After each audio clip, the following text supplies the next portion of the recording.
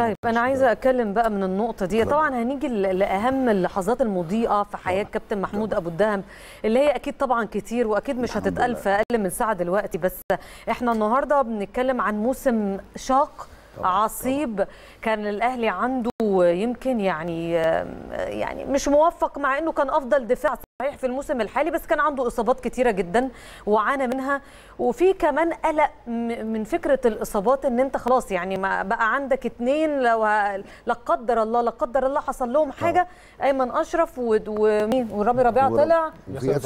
يعني عندنا ياسر إبراهيم بس لا قدر الله هل حصل حاجة هنبقى إحنا في في خطر أكتر فكلمني عن خط دفاع الاهلي الموسم ده شفت إزاي الإصابات أثرت عليه طبعا يمكن الإصابات أثرت بشكل كبير جدا أكيد. ويمكن أيمن أشرف اتصاب وسعد سمير اتصاب رامي ربيعة اتصاب هي دي بتيجي نتيجة الماتشات الكتيرة محمود كابتن متولي. حتى لما جه محمود. متولي كمان لما اتصاب فدي يمكن عندنا محمود محمود اتصاب يعني كذا لعيب مصاب لكن أنا بتكلم على خط الدفاع بالذات رامي ربيعة لسه طبعا يمكن. أنت معاك الكابتن هاني يعني يقول لك إن لازم خط الدفاع يبقى عندهم انسجام مع بعض لازم يتكلموا مع. بعض في contact مع بعض كتير لو أنا رحت مثلا كابتن هاني بيغطي أنا ببقى تحتيه.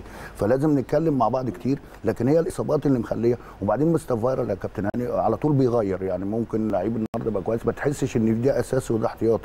ويمكن شفنا كمان ان اللعيب الاحتياطي لما بينزل بيبقى عنده نفس التكتيك أو نفس ال system بيلعب بنفس الشكل وبيلعب بنفس المضمون. لكن هي الاصابات هي اللي أثرت على دفاع النادي الأهلي بشكل آه، كبير جدا.